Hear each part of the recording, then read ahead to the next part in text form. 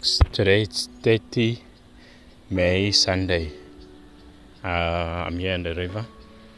I'm thinking to just drop the bait here in this spot here on the sides. So this is a craw. Uh, I'm swiping with this one because it doesn't have that much action. So this one I think it's gonna make an action. Done swiping my baits. I put this craw so I think it's gonna make an action when it's falling and when it's going up. So it's gonna cause a vibration a bit. So yeah.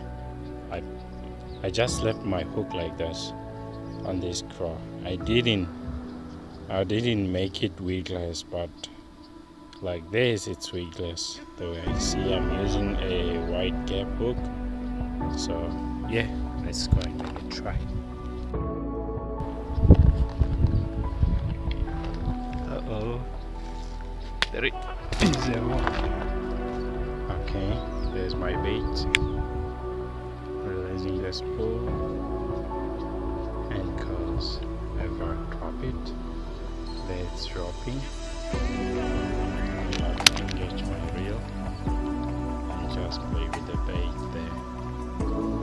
Sometimes you might get those bass are hanging here on the sides, waiting for anything that's gonna fall.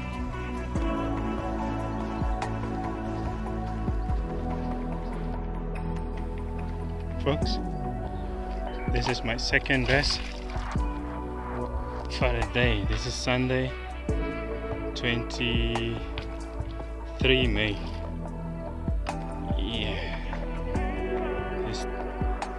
Things but yeah.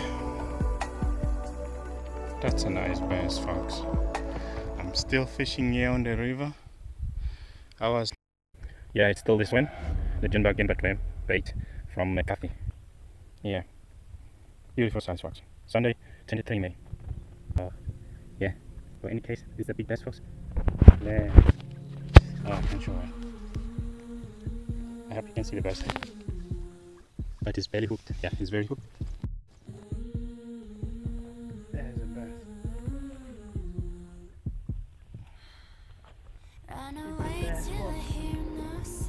Ah, I got you. This is my dead bass fox. Ah. Wow. On the craw. The other two I it's a crow. The one I caught the best on.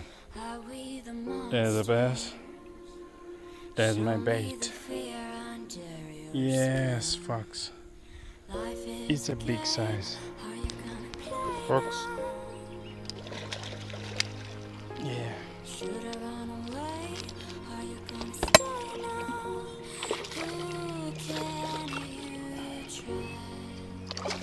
Wow. wow.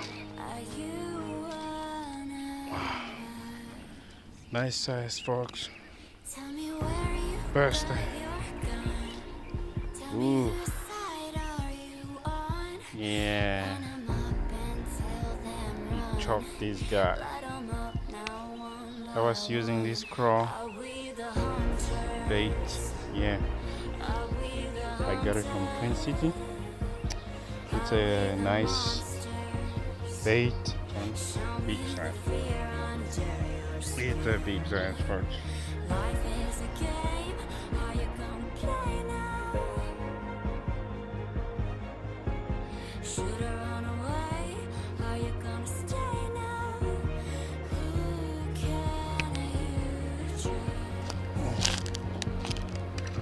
Gone, gone forever.